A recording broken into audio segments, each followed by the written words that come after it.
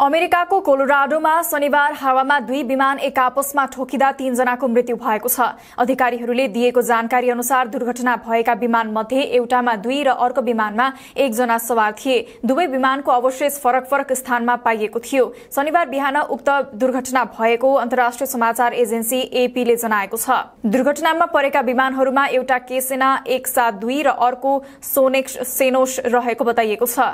मृतकको पहिचान भने खुलाइएको छैन। अहिले यस विषयमा अनुसन्धान भइरहेको प्रहरीले बताएको छ। पहिलो विमान निवोट सड़कको दक्षिणतर्फ र दोस्रो विमान उत्तरतर्फ फेला परेको थियो।